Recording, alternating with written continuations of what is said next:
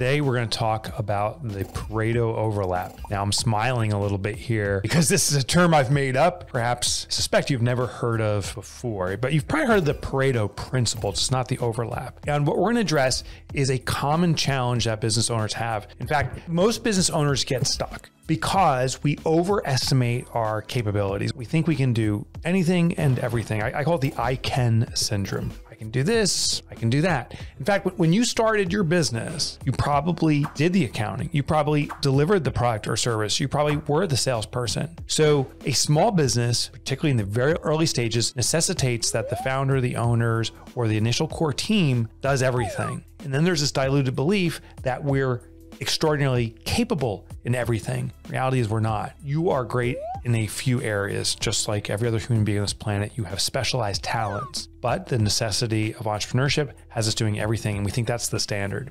So there's this I can do syndrome, and therefore many small businesses will start diversifying because it seems so easy to add on this additional product or this additional service.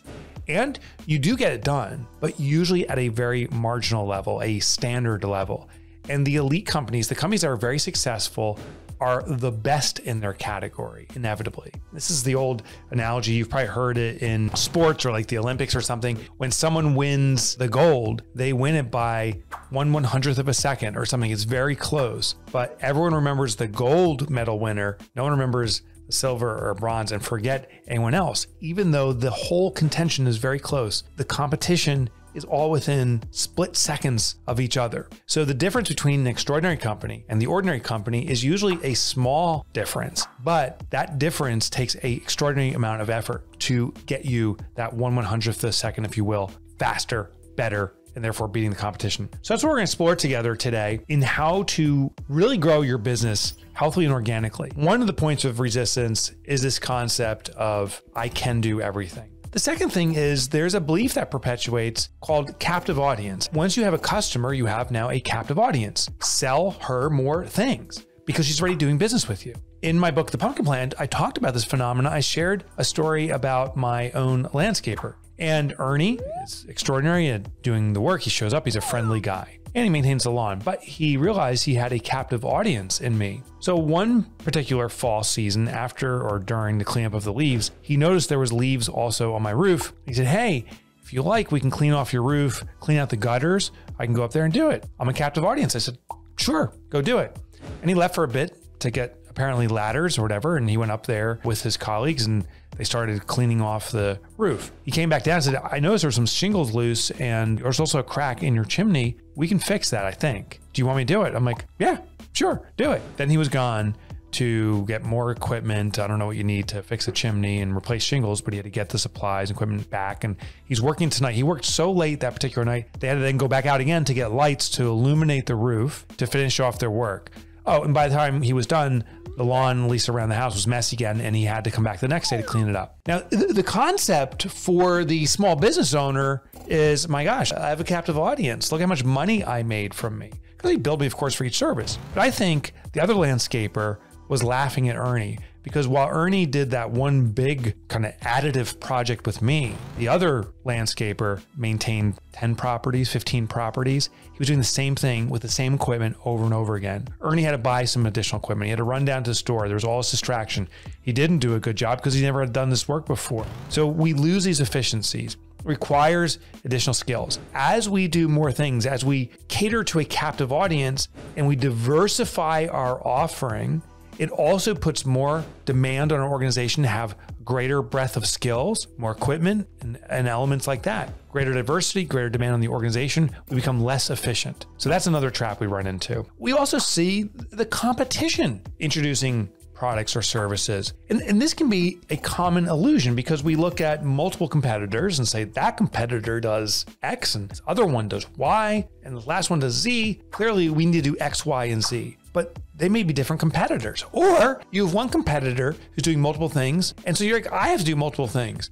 But they're struggling and you don't even know it. So the challenge is we have many demands on us psychologically based upon confirmation bias, looking at the environment around us, that we diversify. But there's one big factor. And the big factor is this that in the early stages, The easiest way to grow is simply do more things. Acquiring that next customer is hard. You don't have a market reputation. Customers don't know you exist. So you have that first customer or the first few customers, they're captive, offer more. It's easier. And in the beginning, you can get by by hook or crook. I think most businesses can grow in the service industry, at least, to about a million dollars in revenue by being diverse, by adding new features and benefits. But then as you get beyond that million dollar point, and I'm not saying that's a hard number, it's just my observation. The reason is around a million dollars, you need to start bringing on full time help and so forth. As you do this, you start losing efficiencies because people have to relearn and retrain. They have to diversify themselves. I want you to think about the McDonald's model, and this is true with any fast food restaurant. Have the fewest ingredients. You can package them different ways. You can make a hamburger with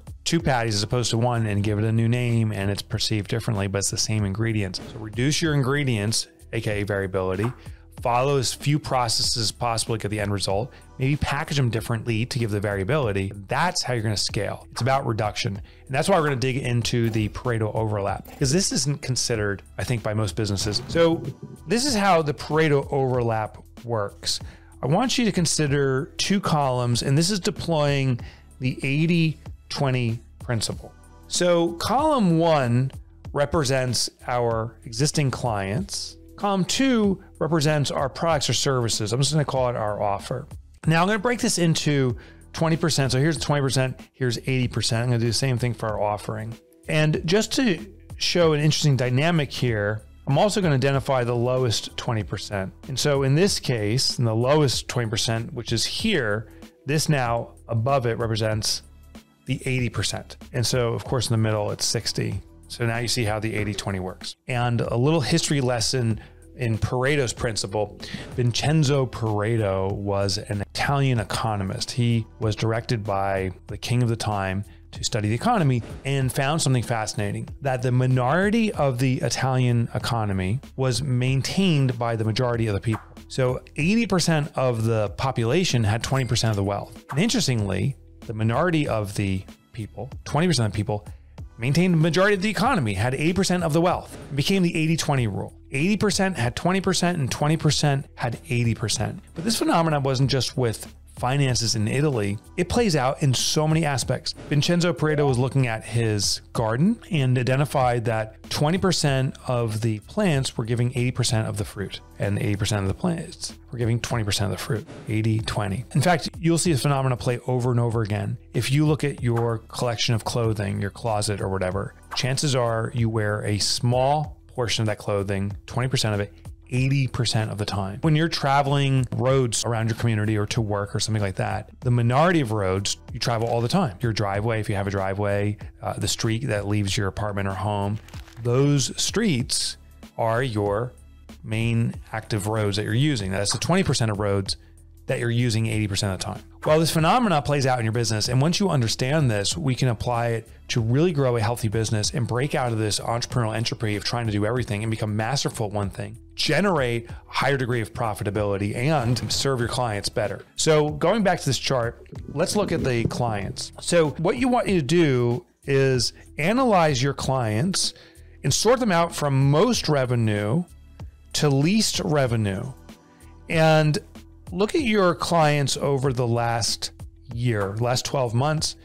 If you get a better perspective of your client demand by looking at it on a two year basis, 24 month period, you can do that too. So, what you do is you take your clients, sort them out from most revenue. So, this is on a dollar basis to least revenue. Then, what I want you to do is look at what your cumulative revenue was. So, just for an easy number, I'm going to say $1 million that I generated in revenue. I multiply that by 80%, 80%, and that's 800,000, 800K. And then what I do is I go through my list here and identify where is the 800,000 cumulative stop. So the first client may have been a $100,000 client. The second one was a $50,000 client. And this was a $50,000 client. So that's 200,000 combined and so forth. And you go down until you get to the 800,000 mark. And when you get there, usually, and it's not in all cases, but usually it's the minority of your clients that are yielding the majority of revenue. Every business is different. So this is not a hard, fast rule. This is just a common dispersion of demand. So draw that out. Once you've done this, you've identified your top clients. the ones who spend the most with you, up to 80% of the revenue. Also, you can do this in reverse. Identify going from the bottom up how many clients it take to get to the remaining 200,000 clients, the $200,000. And you'll often see there's a lot more below than there is above. The clients that demand the most from you, meaning they spend the most money with you, they enjoy working with you, they give you positive reviews, those are clients that identify as the best clients.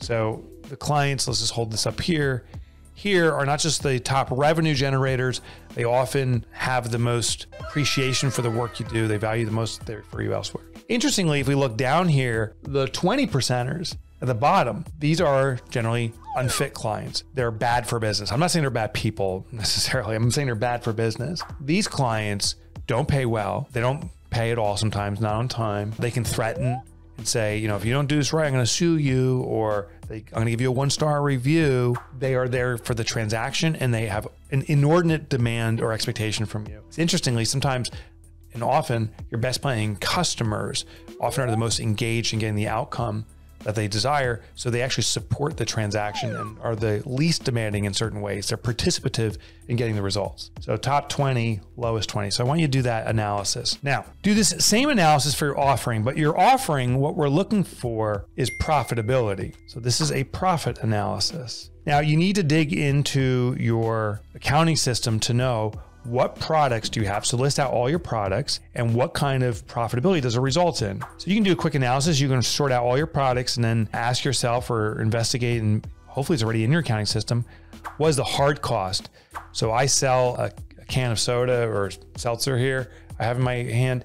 I sell one can of seltzer. What's it cost to purchase this? And I sell this, we'll say, for $2. I purchase it for a dollar. So my hard cost is a dollar.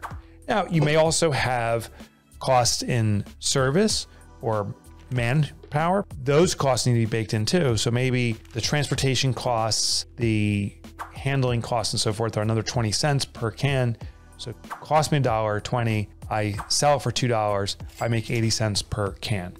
So that's the analysis. If you can't go in that depth, you can do a rough rule of thumb. And the rough rule of thumb is products or services you charge more for typically, typically are more profitable. It's not always the case.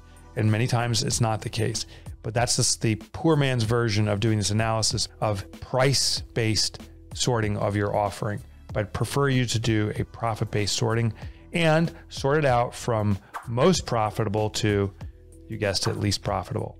So, same analysis as we're doing here, but we're doing it now on the products. And if the Pareto principle plays true, and again, it's not a hard, fast rule, it's not going to be 20% of your offerings are yielding 80% of your profitability necessarily. It may be 25%, or maybe it's 40%, or maybe it's 12%, but it gives you a perspective. Then, once you figure this out, what are your best stuff is, your best folks, the unfit folks, the stuff that's not profitable. Actually, many cases I see businesses losing money here. Now we can do this analysis. So here's how the analysis works. There's going to be four core principles I want to look at. The first one is your best clients buying your best stuff, meaning your clients that pay a premium, they do a lot of business with you, they like you, who are buying items that are profitable. This is the heart of your organization. I would argue this is the most important yet most overlooked component of building a healthy business is who are my best clients that are buying my best stuff? They are everything to my organization. Now, if you multiply 20 by 20, it's roughly 4%. So I'm just going to do a round number, about 5%. 5% of your transactions are absolutely key to your organization. Without them, it could be the death nail in your coffin. And yet, most people don't know who those top 20% customers are or the products. Therefore, they don't focus on this. Here's the change I want you to make. Once you identify who your best clients are, now you know how to do it. Once you identify who these folks are buying your best stuff, call upon them, cater to them, protect them. When you have orders coming in and multiple people call upon you, it's this client that's buying the best stuff that gets called back first. They're the ones who get catered to, prioritized every single time. They're the heart of your organization. My mother had a saying, she said, Mike, you know, treat everyone the same. And uh, I hate to say this, but my mom was lying to me. Treat your best the best. And now you know how to identify them. Now, there's more scenarios. So let's go back to the overhead that you need to get familiar with here. And the second scenario, hopefully, it's just as obvious as the first, is unfit clients. Again, I'm not saying they're bad people, they're not a good fit for your business. Buying items that you're not profitable on. In many cases, you know, I've worked with thousands of businesses in my investment companies called Prosper Group. We have a couple dozen folks. We're walking through this right now. And it's still it doesn't surprise me anymore, but it's still kind of a shock to the system to see how many businesses for a long time are selling products that are not making any money. They're losing money on them. So you can actually be losing money. There was a study from a company in Chicago called Strategex back in the day that they shared with me that for many businesses, they broke into quartiles, but we'll roughly do this, that most of the profitability, actually 150%, of the profitability occurs here, which already makes no sense because there can only be 100% profit. So how could it be 150? Well, they said because we're losing 50% of our profits down here. So we're making all the profits there, and this is about break even in the middle. So interestingly, we lose money here, and yet we keep on selling this. If we just got rid of these bad products, we could have more profitability. If we just got rid of these unfit clients, we could focus more time and energy on our best clients. Bad clients buying bad stuff is poison for your organization. And you know what to do with poison spit it out. In fact, you can refer this business right here to your competition. And I know that sounds absurd and crazy. So here's what will happen you fire this uh, client who's buying stuff that's not fit for you, therefore, you abandon the stuff. Your competition will make, oh my God, you are, are sending all this business my way. Well, you're what a fool. I'm lapping it up. Yeah, yeah, they're lapping up poison. It's killing your business. These are the customers that you can't sleep at night because you're thinking about them. These are products that are losing you money and you struggle to be successful at. Stop doing that. One thing is you stop providing that product or service, these clients by default will go away. Now, let me just draw in here 20% times 20% is 4%. I'm just going to round it to 5%. But about 5% of the scenarios, worse clients buying worse stuff, that's about 5% of your business, if your business is consistent with the Pareto principle, is harming your business severely. Spit out the poison. All right, let's go to the next. Your best clients, high demand, buy from you repeatedly, value your services, who are buying your worst items. This is about another 5% of these transactions will be happening this way. Best people buying worst stuff. This is an education opportunity. What I mean by this is call upon these great customers yours, say, I value you doing business with us. I want you to know we have alternative products and services you can buy and try to move them up the chain in demand. Try to get them buying things where you offer something that's profitable. Maybe by just canceling these products, you can say, we're no longer providing XYZ, but now we have these alternatives and we push them up. It's an education opportunity. The other scenario I want to talk about, I call it prostitution. It's where you have your worst customers. These are people that are not kind to you, they don't pay on time, but they're buying profitable things. If you sustain this relationship, this is actually the most difficult scenario. If you're sustaining it, you're saying, I will take any kind of abuse just to make some money. So that's prostitution. We got to get out of this scenario immediately. So, how do you do that?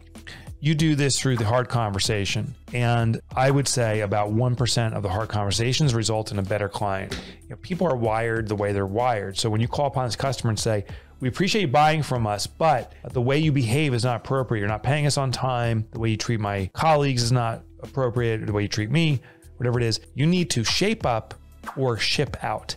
And that's this conversation. The majority are going to go by the wayside, they're going to leave. But that means they're poisonous. Let them go to your competition. You're going to be grateful. Your team's going to be grateful that you had the hard conversation. You were willing to do this to protect your organization. So you actually serve the organization. What happens is you start up leveling your business. By removing these unfit products and services, you are now focusing in this area and you can become elite. Do a better job at this. I'll actually do a video on exactly what you need to improve at the upper level. By focusing on the proper client, you're going to start seeing client commonality because they're commonly needing the same product and services. Then you're going to be able to have repeatability, which means systemization, efficiencies, and so forth. So uh, there you have it. I call this the Pareto overlap. Now, what we did here was we explored just four scenarios. Of course, there's the 60% buying the 60%, the 20 buying the 60. You can keep playing this out. There's a lot more scenarios. But these were the core four you need to know. If you do nothing else, let me give you the two things I challenge you to do that will transform your business forever. One, call upon your best customers and say, Thank you for being such an extraordinary customer. We value you, and prioritize responding to them. So acknowledge their value to your organization by calling upon them. Usually they don't get those accolades. Secondly, start prioritizing them. My other thing is get rid of these products. And that will trigger getting rid of these clients. I challenge you to get rid of these products. Ironically, the greatest way to grow a business healthily and efficiently is the discipline of ditching what doesn't work. We don't want to add more. That's what got you in this place in the first place. That's what got you stuck here. There's a saying, what got you here will keep you here. Yeah, by diversifying, by doing all these things got you to this point, but it's no longer working. So you have the discipline of removing this, it'll start a cascade effect. And maybe, just maybe, have the courage to have the hard conversation and get rid of these customers and watch how it transforms your business. So that is what I call the Pareto overlap. It's a deployment of the Pareto principle and the intersection of the two. And now you can use this in your business.